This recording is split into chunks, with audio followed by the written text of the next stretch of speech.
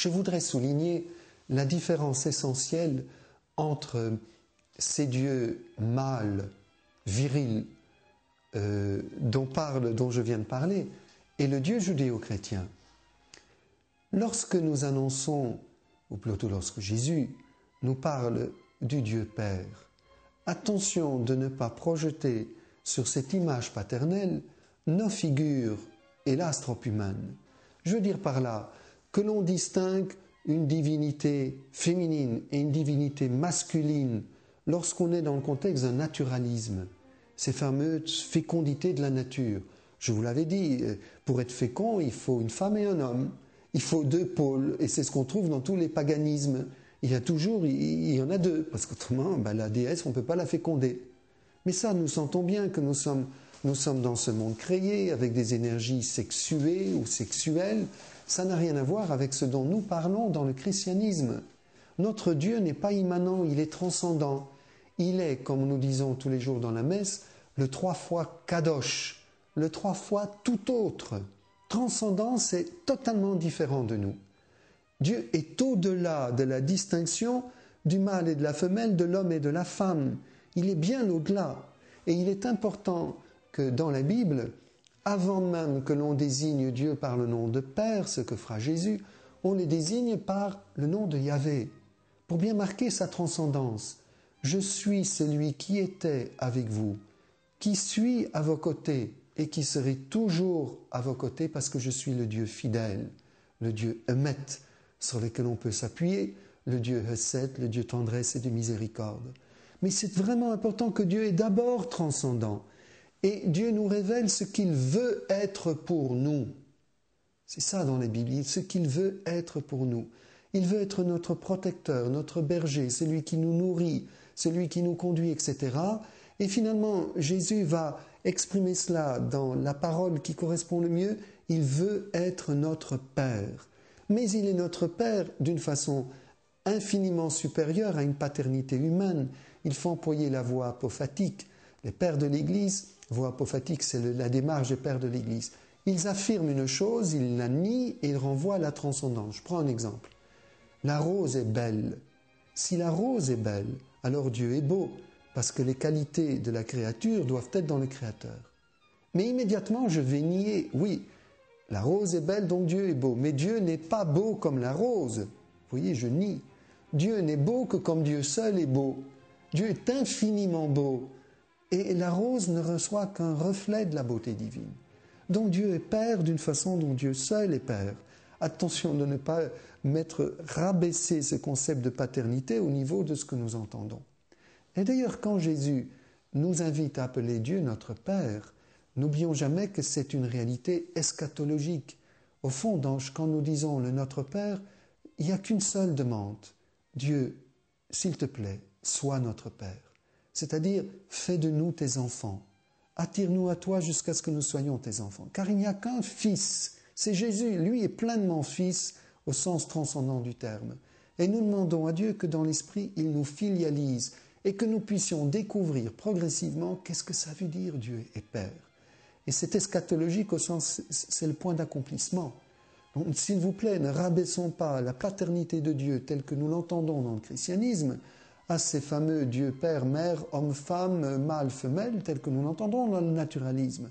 C'est encore un jeu de Dan Brown, ça de rabaisser la transcendance divine au niveau de l'immanence. C'est pourquoi j'ai commencé par dire cela. La grande rupture, c'est que nous parlons du Dieu Kadosh, Kadosh, Kadosh, tout autre, dont je ne peux parler qu'analogiquement, en employant des termes humains, mais en, en sachant très bien que ces termes humains ne correspondent pas à la réalité divine.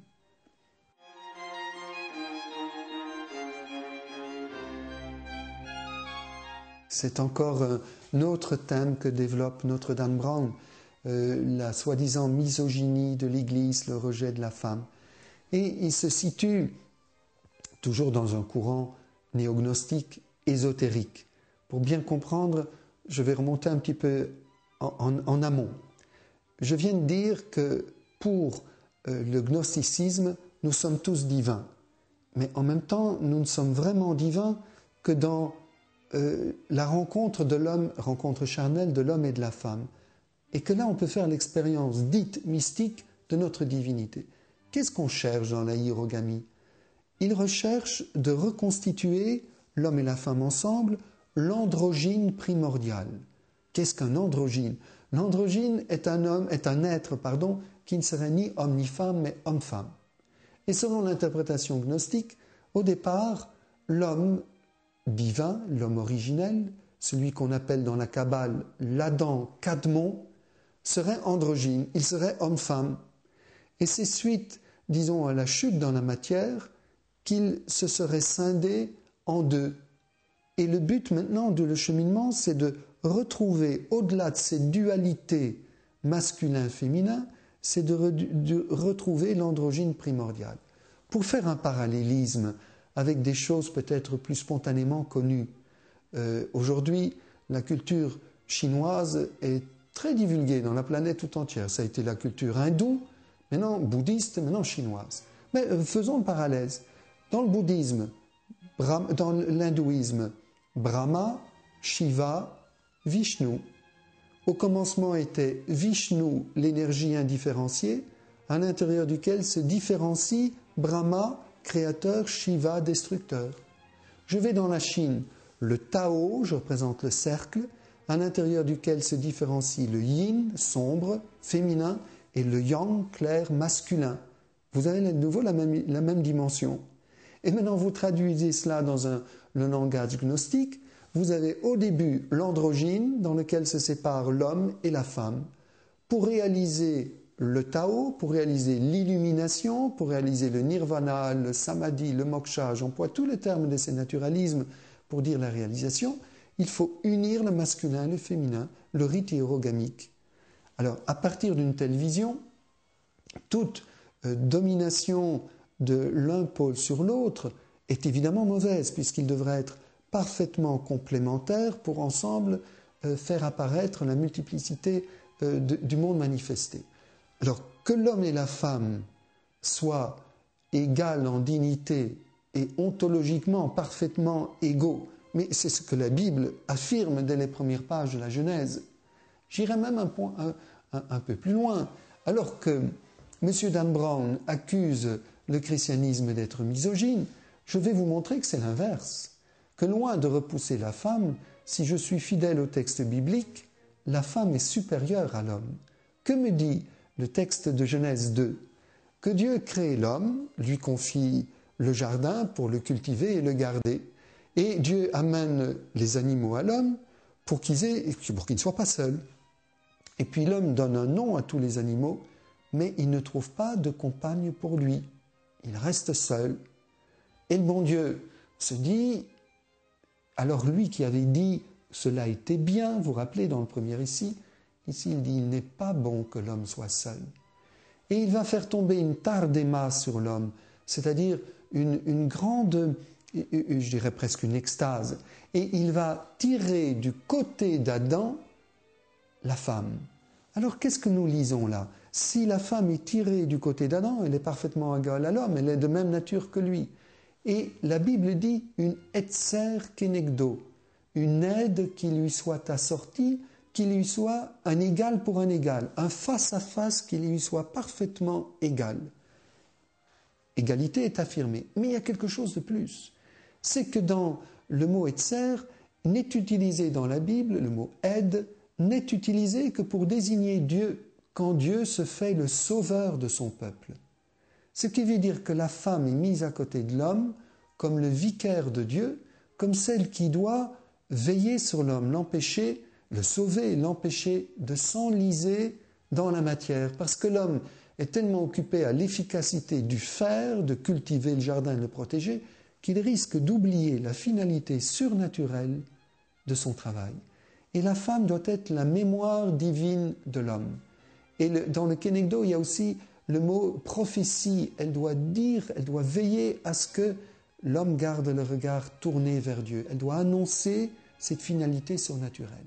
Donc on sent bien un rôle spirituel tout à fait particulier de la femme, qui est égale en dignité, mais qui n'a pas le même rôle que l'homme. L'homme doit travailler, transformer, efficacité. La femme est la flamme spirituelle, elle est le cœur spirituel de l'humanité. Donc vous voyez qu'il y a une complémentarité là très belle. Et ce n'est pas tout. Si nous regardons bien ce qui est conçu lorsque vous faites une œuvre artistique, vous vous la représentez, et puis vous travaillez pour la réaliser, pour la sculpter, disons, dans la pierre. Et quand, quand l'œuvre est terminée, vous comparez ce que vous avez mis dans la pierre avec ce que vous avez conçu, et vous dites, oui, c'est terminé, c'est ça que je voulais faire. Autrement dit, ce qui est conçu en premier est réalisé en dernier. La perfection de la conception, c'est ce qui est réalisé en dernier. Or, qu'est-ce qui est créé en dernier? C'est la femme, c'est pas l'homme. L'homme est un chemin vers la femme qui est tiré du côté de l'homme. Donc la Bible nous dit que l'œuvre de Dieu n'est qu'accomplie dans la femme. Donc la Bible ne peut pas être misogyne, puisque nous disons que la femme est supérieure à l'homme. Et c'est bien ce que nous considérons, que la nature tout entière est épouse du Créateur. Je veux dire que la femme, jusque dans sa corporéité, exprime mieux la situation ontologique de la créature face au Créateur que ne le fait l'homme. Donc il y a objectivement, je dirais ontologiquement, en tout cas symboliquement, une supériorité de la femme sur l'homme. Et dire que le christianisme ne serait pas fidèle à, ce que je viens de décrire, je regrette, mais je suis chrétien, je n'ai pas l'impression de sortir de ma foi en développant cette doctrine, elle est tout simplement juive, réappropriée par le christianisme. Et c'est quand même oublier étrangement la place de la Vierge Marie dans la doctrine chrétienne que de dire que nous sommes misogynes dans le christianisme. C'est très étonnant aujourd'hui. Certains nous disent que nous donnons trop de place à la Vierge Marie et d'autres nous disent que nous ne laissons aucune place à la femme, que nous avons diabolisé la femme, alors que nous disons que c'est la Vierge Marie qui écrase la tête du serpent. Si nous lisons dans la Genèse, c'est la descendance qui écrase la tête du serpent, mais l'iconographie ne se trompe pas, c'est effectivement l'Immaculée qui écrase la tête du serpent. Vous voyez bien qu'il suffit de confronter une doctrine, une sainte doctrine chrétienne au livre de Dan Brown, et on, a pratiquement l'impression qu'il prend le contrepoint de, de, notre doctrine et qui nous accuse de choses, mais qu'il est impossible de découvrir dans les documents même du magistère. Je vous donne encore un exemple sur ce point précis parce qu'il est quand même assez, assez impressionnant. Dan Brown nous dit que nous avons diabolisé la figure féminine et diabolisé la relation sexuelle. Or, si je relis l'histoire, si je relis Saint Irénée, si je relis Saint Paul, Saint Paul déjà disait qu'il y aurait des fausses doctrines qui nous défendraient de nous marier, par exemple, qui considéraient que l'union charnelle est un péché. Mais ça, c'est la gnose. Les gnostiques considèrent que l'homme est une étincelle divine tombée dans la matière et que la matière est faite par les archontes, ce sont les dieux inférieurs de cette terre, et qu'il faut libérer l'étincelle divine, donc ne pas s'occuper de la chair. Et si, si, vous voulez, je vous lirai un extrait de l'évangile apocryphe selon Philippe, ou selon Marie, ou d'autres, dans lesquels on perçoit, si on fait une authentique lecture et pas une lecture déformée telle que Dan Brown, combien il y a un mépris pour la chair. Et je répète, pour les manichéens, l'union charnelle, le, mariage n'était pas un sacrement, mais un péché. Ainsi donc, il y avait un mépris pour le mariage et pour toute relation charnelle. Et nous avons les documents des pères de l'Église qui reprochent aux gnostiques leur mépris pour le mariage et qui leur répondent au contraire, mais Dieu a créé l'homme et la femme pour que par leur union, ils se reproduisent l'image de Dieu, du Dieu incréé, dans l'ordre créé. Ils leur reprochent leur mépris du mariage. Vous entendez bien, c'est les chrétiens qui disent aux gnostiques, vous n'avez pas le droit de diaboliser la relation charnelle. Et aujourd'hui, que dit Dan Brown? Il dit aux chrétiens, vous avez diabolisé la relation charnelle. J'espère que vous me suivez parce que vous voyez que c'est exactement l'inversion de la réalité historique. L'ennui qui a lu aujourd'hui les pères de l'Église, qui connaît l'histoire, la tradition chrétienne. Alors voilà ce que nous faisons, nous essayons de restaurer ce, que chacun peut vérifier dans les documents qui sont à notre disposition. Et lorsqu'un Dan Brown parle de ce fameux baiser compromettant, ah, le baiser compromettant que Jésus donne à Marie-Madeleine et qui serait la preuve que Jésus aurait épousé Marie-Madeleine, la preuve que Jésus pratiquait la hiérogamie avec Marie-Madeleine, et donc la preuve que Jésus n'enseignait rien d'autre qu'un naturalisme, que Jésus enseignait la religion de la grande déesse et que l'authentique christianisme n'avait rien à voir avec ce que l'Église de Pierre aujourd'hui nous enseigne. Voyons donc ce fameux baiser compromettant. 1. Ce baiser, cette phrase, ce verset sur le baiser que, que Jésus donnait à Marie-Madeleine est tiré de l'évangile apocryphe de Philippe qui date du second siècle, peut-être plus tard, mais disons, mettons les choses au mieux, au second siècle. Donc un siècle après les évangiles. Deux, c'est un évangile gnostique dont tous les spécialistes reconnaissent que les seules choses, les seules euh, proximités que nous pouvons faire avec les évangiles, c'est le nom des personnages.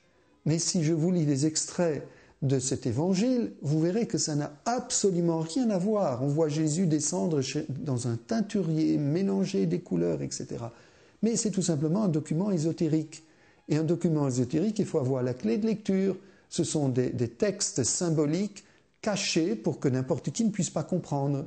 Je répète que simplement les noms des personnages, on dit, on appelle l'un Jésus, l'autre Marie-Madeleine, c'est le seul rapport avec les évangiles. Et maintenant, voyons donc ce fameux baiser. Euh, quand on lit le contexte, c'est dans le contexte justement de cet épisode du teinturier et, compagnie. Saint Irénée analyse déjà ce document. Et Saint Irénée nous dit, et on a pu le vérifier entre autres maintenant avec les fouilles de Nagamadi, que la gnose valentinienne décrit le parcours initiatique comme un rapprochement entre l'amant et l'amante et finalement comme une union charnelle.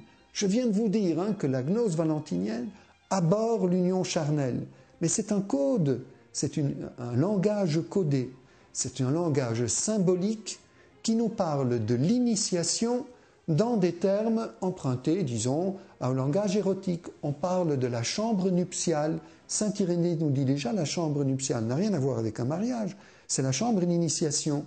Le baiser, c'est la transmission de la gnose, du secret.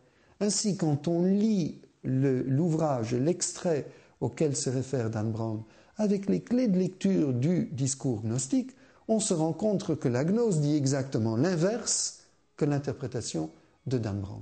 Ce n'est pas moi qui vous dis cela, ce sont des spécialistes et qui n'ont pas attendu 2003 pour étudier ces textes. L'interprétation que je vous donne, elle est connue depuis des années. Aucun spécialiste n'interprétera un texte gnostique comme une invitation à la relation charnelle, toujours dans l'évangile de Philippe, quelques versets plus loin, il le dit clairement qu'il y a deux mariages. Il y a un mariage selon la chair qui est mauvais, et il y a un mariage selon l'esprit, l'initiation qui est bon. C'est QFD, c'est pas la peine d'aller plus loin. Mais qui connaît ces interprétations authentiques de la gnose aujourd'hui? Je vous cite parce que c'est d'actualité euh, l'évangile gnostique de Judas, qui vient de, qu'on rend rajouté au Da Vinci Code pendant la Semaine Sainte, l'évangile de Judas a été découvert dans la même période des années 45, un peu plus tard, si ma mémoire est bonne, a été étudié par un, professeur autrichien, euh, à qui on demandait que pouvons-nous attendre de cet évangile? Mais ce professeur a dit très clairement, mais historiquement, rien. Vous ne pouvez attendre aucune information historique d'un document qui date du second siècle et qui vous parle d'événements qui se sont passés avant la fin du premier siècle. N'en attendez rien. C'est simplement une illustration de l'infiltration gnostique qui a récupéré les langages du christianisme. Et là, dans ce contexte, c'est pas Marie-Madeleine, c'est Judas qui est mis en scène. Jésus aurait préféré Judas à Pierre, Pierre jaloux de nouveau, etc. Même scénario, l'église de Pierre, c'est des méchants. Bien. Et Jésus aurait demandé à Judas de le vendre, de le trahir, pour permettre à Jésus de vivre la grande initiation, c'est-à-dire de quitter l'étincelle divine qui quitterait son corps et qui rejoindrait le plérome, dont Judas serait le disciple que Jésus aimait, littéralement. Mais Saint Irénée connaissait déjà ce texte, et Saint Irénée critique déjà l'évangile de Judas dans son Adversus Ereses qui date du deuxième siècle. C'est quand même étonnant qu'aujourd'hui on fasse un scoop de documents que nous connaissons par la tradition chrétienne depuis, depuis des siècles. Alors, quel est le, renouveau que l'on a pu avoir à travers les fameuses fouilles de Nagamadi dont parle M. Dan Brown? Les fouilles de Nagamadi, c'est des fouilles qui ont une découverte qui a été faite dans les années 45 dans un cimetière euh, dans le village de Nagamadi. Nous sommes environ 1000 km de Luxor, pour le situer un petit peu. Euh, et ces fouilles sont très intéressantes. Euh, ce sont des livres euh, enveloppés dans du cuir, et la présentation même nous permet de les dater très précisément du IVe siècle, écrits en copte, mais sont des traductions de documents originaux grecs, probablement du IIe siècle. Quel est l'intérêt de cette bibliothèque? C'est que l'on a retrouvé là les documents dont parlent les pères hérésiaques, les pères de l'Église. Et on a entre autres pu vérifier que Saint Irénée, Tertullien et tous les autres, Saint Cyprien, etc., euh, jusqu'à Augustin y compris, lorsqu'ils critiquent les gnostiques, eh bien ils citent effectivement les gnostiques, ils citent ce qu'ils disent, ils ne les déforment pas. On a pu vérifier les sources de Saint Irénée. Donc on a trouvé ainsi euh, une bibliothèque tout entière où on a un, ensemble de livres apocryphes et on a même une traduction de la République de Platon. C'est très étonnant qu'elle s'ajoute là. Parmi les apocryphes les plus célèbres, euh, citons l'apocryphe de Thomas, l'apocryphe de Philippe, dont je viens de parler, et l'apocryphe de Marie. Il y en a bien d'autres, mais ça, c'est ceux qui font le plus de bruit. C'est évidemment de la. Ce n'est ni Marie ni, Thomas qui les ont écrits, vous avez bien compris, c'est un procédé littéraire. On attribue à un auteur connu euh, un ouvrage pour, pour, bien, pour parvenir à le diffuser dans le grand public. Donc tous ces apocryphes sont extrêmement tardifs, non pour nous qu'un intérêt, je dirais, euh, scientifique, c'est d'étudier quel était l'état de la gnose, vérifier la, vérité de, ce que disaient les pères de l'Église. On a donc là une confirmation. Mais quand Dan Brown prétend qu'il y a des nouveautés extraordinaires que l'Église, dont l'Église essaie de freiner la publication, etc., mais, c'est archi faux. Des, chrétiens participent à, ce genre de travaux. En, plus, je vous le répéterai jamais suffisamment, nous savions déjà le contenu. J'ajoute aussi que notre brave Dan Brown confond euh, Nakamadi et la mer morte. Lorsqu'il dit que les fouilles de la mer morte, qui sont des mêmes années, ça c'est 47, deux ans plus tard, ou à Qumran, euh, près de, oui, disons, du côté de la mer morte, euh, un petit berger, en essayant de récupérer une de ses chèvres de son troupeau, grimpe dans une grotte et il découvre dans des jarres, il découvre des, parchemins en papyrus ou écrits sur des peaux de mouton, je me rappelle très bien. C'est une découverte fantastique, parce qu'on trouve là les plus vieux, enfin tout, l'ensemble des écrits de la première alliance, dans ce que nous appelons l'Ancien Testament hébreu, sauf le livre d'Esther, on le trouve tout entier là, et on peut vérifier la fidélité, dirais, la tradition entre le codex euh, de Moscou qui date de l'année 1000 et ça, euh, ces documents-là qui datent, qui ont été hébergés dans cette grotte probablement dans l'année 68, au moment où les, les troupes romaines montent pour réprimer la, révolution juive qui va se terminer dans un bain de sang, hein, avec la destruction en 70 de, Jérusalem. Donc ils voient monter les, troupes romaines et ils vont cacher leurs documents précieux dans, ces grottes. Euh, je dis ils, de qui s'agit-il? On le sait maintenant, c'est qu'il y avait donc les livres de l'Ancien Testament, puis il y avait aussi la règle de la communauté. Quelle communauté On a découvert maintenant, c'est la communauté essénienne. Ce sont les Esséniens qui étaient des, puristes, je dirais, qui avaient quitté Jérusalem parce qu'ils considéraient, à juste titre d'ailleurs, que le roi Hérode n'était pas de la descendance royale, tout à fait juste, et que les pharisiens étaient compromis. Donc pour retrouver la pureté euh, du judaïsme et hâter le retour du Messie, ils s'étaient réfugiés, enfin retirés au désert pour vivre une vie de très grande pureté, de très grande ascèse. Et donc lorsqu'ils voient arriver les troupes romaines, ils vont cacher leurs documents. Et nous avons donc leurs règles de vie, nous avons ces documents sur la tradition juive, et nous avons quelques apocryphes juifs, mais rien, aucune mention au christianisme. Le nom de Jésus ne figure pas sur les documents de la mer morte. Or, M. Dan Brown prétend que le Vatican a tout fait pour empêcher la publication de ces documents, qui mettrait en, cause les origines du christianisme, qui mettrait en cause les évangiles, et qui mettrait en cause tout ce que nous avons dit sur Jésus. Excusez-moi, on ne parle pas de Jésus dans ces documents. Et, il dira aussi que l'on fait obstacle, que c'est un scandale universitaire, mais, désolé, les, éditions à Oxford euh, Press, l'ensemble, 32 livres, tout est publié. Rien n'est caché, tout est publié. Un mensonge de plus euh, que Dan Brown dont Dan Brown n'est pas l'auteur, qu'il emprunte d'ailleurs à un autre, je dirais, journaliste à Sensation, qui quelques années auparavant avait déjà émis cette thèse d'un Vatican faisant obstacle au travail scientifique sur les fouilles de la mer morte, qui est faux, archi faux. Ce sont des prêtres, entre autres, avec des juifs, qui ont travaillé sur ces documents.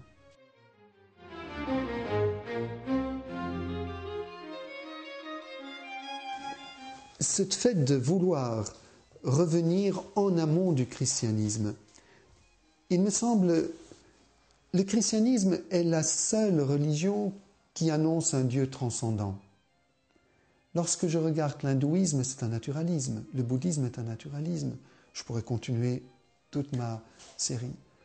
Je dirais que toutes les grandes traditions religieuses sont précieuses en tant que témoins de cet effort de l'homme vers Dieu. Et partout où l'homme tend vers Dieu, je peux dire que l'Esprit Saint est à l'œuvre, parce que je ne pourrais pas tendre vers Dieu si ce n'était pas lui qui m'appelait.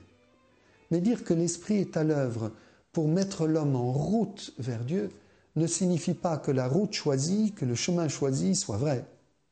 C'est d'ailleurs pourquoi Dieu sort de son silence. À la plénitude des temps, comme dit la lettre aux Hébreux, Dieu sort de son silence et s'adresse à l'homme. Je dirais que ça se passe en deux étapes. La première étape, c'est lorsque Dieu appelle Abraham. Abraham, Abraham, me voici, sors de ton pays. Sors de ce naturalisme. Non, je ne suis pas le Dieu qui se confond avec les créations, je suis le Dieu tout autre, Kadosh. Et là commence une aventure extraordinaire, unique. J'avais un ami qui était, euh, faisait la phénoménologie des religions et qui n'était pas croyant et qui me disait il y a un lieu où je pressens ce que vous appelez l'inspiration. Il dit c'est dans la constitution du judaïsme au sein d'un petit peuple nomade qui aurait dû mille fois être intégré dans les grandes cultures à travers lesquelles il a traversé. Il a été soumis à l'influence des Sumériens, des Babyloniens, des Égyptiens, des cultures immenses, alors que c'est un petit peuple nomade avec une culture très limitée. Eh bien non, malgré cela, il a constitué une religion originale, unique, qui non seulement a survécu, mais qui a influencé toutes les autres. Et il disait, je répète, il n'était pas croyant, là, j'ai l'impression de toucher quelque chose de ce que vous appelez la révélation, l'action de Dieu ou l'inspiration dans ses écrits. Je trouvais très beau son honnêteté. Mais il faut que nous prenions bien conscience de cela et de la responsabilité que cela implique. Dieu sort de son silence, se révèle comme le tout autre, achève cette révélation dans le christianisme, donc il a marqué la transcendance, donc la distance infinie. Dans le christianisme, il dit sa volonté d'être tout proche, d'être l'époux, mais sans perdre la transcendance, évidemment, on ne retombe pas dans un naturalisme. Il y a donc quelque chose d'unique quand Jésus dit Je suis le chemin, la vérité, la vie, je suis la porte. Nul ne va au Père si ce n'est par moi. C'est ce que nous croyons vraiment. Alors, ne soyons pas étonnés Jésus nous a avertis que jusqu'à la fin des temps, il y aura toujours une sorte d'antagonisme, de bras de fer entre ce étranger, je dirais, ce Dieu tout autre qui est d'une certaine façon étranger, qui vient nous déranger. Comme diraient les démons, je sais bien qui tu es, Jésus de Nazareth, est-ce que tu viens nous déranger avant l'heure? Voilà, je crois que nous assisterons toujours à, cette levée du bouclier et ce, ce, rejet de Dieu. Vous rappelez aussi Jésus qui chasse les démons de ce, nom si difficile à dire. Et puis les quand, il, renvoie les démons, la légion de démons dans les ports. Puis les villageois arrivent et demandent à Jésus de partir. il y a quelque chose d'étonnant. Dieu visite l'humanité et l'humanité ne l'accepte pas. C'est Jésus qui l'a dit. La lumière est venue dans les ténèbres, les ténèbres ne l'ont pas reconnu. Mais ceux qui l'ont reconnu, il a donné de devenir fils de Dieu.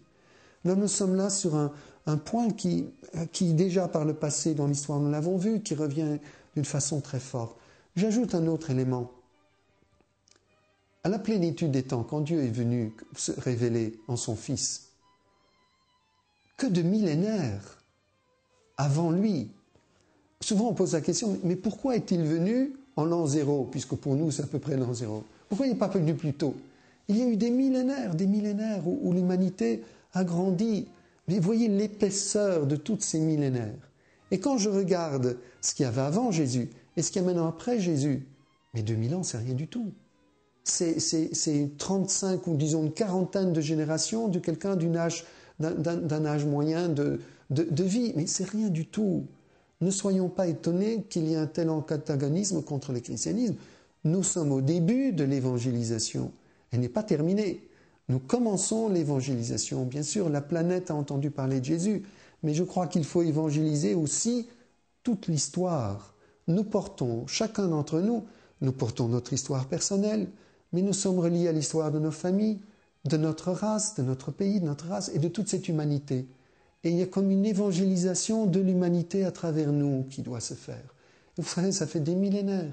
Nous sommes à l'aube de la grande travail d'évangélisation.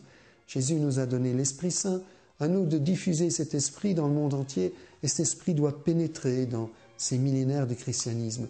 Et je crois que nous assisterons encore à, ce genre de, de, de, réaction qui nous prouve que l'évangélisation n'est pas finie.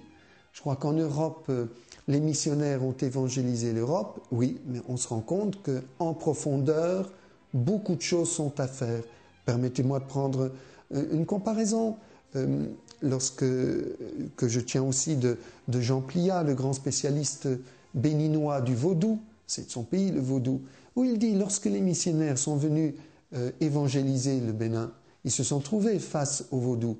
Alors ceux qui adhéraient au vaudou ont bien compris que les chrétiens n'allaient pas accepter le vaudou et comme ils étaient culturellement plus forts, qu'est-ce qu'ils ont fait? Ils ont mis un coup de badigeon, un coup de peinture chrétienne sur leur pratique vaudou. Et ils se sont rassemblés sur les plages pour fêter je dis n'importe quoi, Saint Apollinaire, mais ça n'avait rien à voir avec Saint Apollinaire. Ils continuaient à célébrer leur dieu vaudou dont ils avaient simplement changé le nom. C'est la même chose dans le Macumba et dans bien des, situations. Alors vous savez, il n'y a des repas en Europe qu'en Europe. En Amérique, je sais de bonnes sources que des choses pareilles se passent aussi, où sous un extérieur chrétien continuent à se véhiculer des pratiques ancestrales païennes qui sont incompatibles avec le christianisme, mais qui essaient de se subsister, de subsister. Ce qui veut dire que l'évangélisation a commencé, mais c'est encore une évangélisation de surface. Et de temps en temps, vous savez, quand on fait un badigeon sur un mur sans bien le nettoyer, la, peinture craque.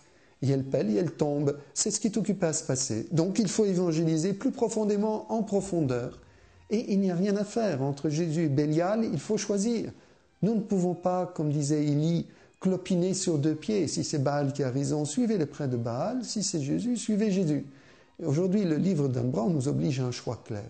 Si nous choisissons la Seigneurie de Jésus, il faut renoncer à toute pratique néo-païenne, y compris celles qui sont apparemment pour le bien. Et Non, ce qui n'est pas, n'appartient pas à l'évangile du Christ, ce qui n'est pas reçu d'en haut vient d'en bas et ce qui vient d'en bas est ambigu. Rappelez-vous la parole de Jérémie, plutôt de Dieu par le prophète Jérémie. Il est double le péché de mon peuple, dit-il. Je crois que c'est au chapitre 2. Ils m'ont abandonné, moi, la source d'eau vive, et ils ont creusé des citernes d'eau qui ne retiennent pas l'eau. Voyez le double mouvement? Ils m'ont abandonné, moi, le Dieu transcendant, et ils sont retournés vers le Dieu immanent, dans des citernes qui ne tiennent pas l'eau. Et je dirais où l'eau est frelâtré parce que le péché originel nous marque profondément. Et tous ces rituels euh, immanents, tous ces rituels font tôt ou tard le jeu du prince de ce monde. Donc je crois que notre choix doit être, devant le défi de Dan Brown, notre choix doit être radical. La première chose, c'est une conversion radicale à Jésus, par une appropriation de la spécificité du message chrétien au niveau de la foi et au niveau de la pratique de vie. Donc, brûlons toutes nos idoles, excluons-les de notre vie. Ne confondons pas les sacrements et les rituels. Essayons de vivre avec l'aide de la grâce comme de vrais chrétiens. Et alors nous serons des témoins crédibles de ce qu'est le christianisme. Et, les hommes, en nous voyant vivre, en voyant la transformation de notre vie, verront d'eux-mêmes, comprendront que le Dan Brown, que le Da Vinci Code est un tissu de mensonges. Il faut les deux. Il faut le travail intellectuel, mais soutenu par un vrai témoignage de vie et nous serons, nous serons convaincants pour nous-mêmes parce que la vérité va faire la vérité d'elle-même. À nous de, de, réagir, de rebondir, de profiter de cette occasion pour, avec l'aide de la grâce, nous convertir sérieusement.